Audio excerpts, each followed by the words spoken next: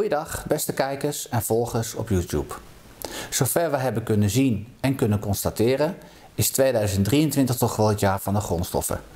Zoals wij hebben kunnen zien uh, hebben zowel zilver als goud meerdere hoogtepunten bereikt. Is de vraag naar basismetalen en batterijen hoger geworden.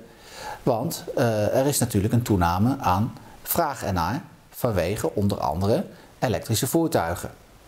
Er zijn experts die voorspellen daarom ook dat de goudprijs moet gaan exploderen. Uh, we zitten natuurlijk nog steeds met het schuldenplafond in de Verenigde Staten, de renteverhogingen van de diverse centrale banken. We zitten nog altijd ook uh, in een wereld waarin inmiddels een parallele economie is ontstaan. De BRICS-landen die onderling aan het handelen zijn, goud voor olie, olie voor goud. Daarmee wordt de vraag naar goud ook steeds meer. Wat we afgelopen tijd hebben kunnen zien is dat zowel zilver als goud een lichte daling kent. Vandaar is het wellicht ook een mooi moment om in te stappen in deze grondstoffen. Verder wil ik het ook nog hebben, even kort hebben, over hypotheken. Heel veel mensen vragen mij, wat vind ik van een hypotheek of een huis kopen? Ik vind het eigenlijk, aan één kant vind ik het zonde. Als jij 30 jaar lang hypotheek moet betalen, en in die 30 jaar in die investering er niets uit kunt halen en eigenlijk alleen maar kosten hebt, zoals het aflossen van je hypotheek, je, je hoe zeg je dat, onroerendgoedbelasting. Uh, Eén keer in de 5 tot 10 jaar moet je wellicht de buitenkant van je huis schilderen. Uh, er zijn natuurlijk ook andere onderhoudskosten. Dus het is een investering zonder dat er geld uitkomt. Ik ben persoonlijk een, een voorstander van investeringen die ook geld genereren of die geld voor jou genereren.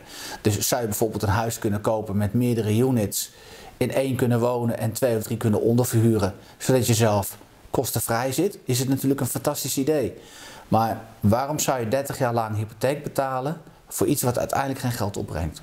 Maar goed, dat is mijn mening. Iedereen moet natuurlijk zijn eigen mening daarin uh, in hebben. Maar daar wordt mij vaak naar gevraagd. Dus vandaar dat ik dit dus jullie op deze manier uitleg hoe ik erover denk. We gaan het uiteraard in de komende workshop ook, workshop ook wat dieper hierop in. Gaan we het er wat meer over hebben.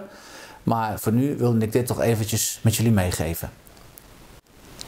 En dan voel ik natuurlijk al de vraag aankomen. Ja, maar als je een huis koopt, dan is het toch jouw eigendom? Kunnen jullie nog de woorden herinneren van Klaus Schwab? You will own nothing and be happy. Het is namelijk zo dat ze inmiddels al bezig zijn met de overwaarde van een eigen huis te plaatsen in box 3. Dat betekent, al zou je hypotheek hebben afgelost, dat je alsnog betaalt. Dus als jij huurt of straks een huis bezit, zit er geen verschil meer in. Plus dat als jij huurt en je zegt je betaalt een huur van 8 of 900 euro, je hetzelfde huis zou hypothetiseren, zou je toch snel op een 1500 euro per maand zitten. Een beetje al nagelang hoeveel je natuurlijk aflost en hoeveel je aan eigen geld inbrengt. Maar uh, je betaalt dan eigenlijk bijna het dubbele. Um, plus dat je 30 jaar lang aan kosten vastzit. Je hypotheek, uh, ontroerend zakenbelasting, onderhoud van je huis. Weegt dat allemaal op tegen uiteindelijk dat je dan na 30 jaar kunt zeggen: het huis is van mij. Terwijl het dan eigenlijk, gezien de plannen van het WEF, eigenlijk helemaal niet meer van jou is. Dus laat mij maar lekker huren. En het geld dat ik allemaal niet uitgeef aan een hogere hypotheek, onderhoudskosten en extra belastingen, kan ik lekker investeren in investeringen die mij maandelijks geld opleveren.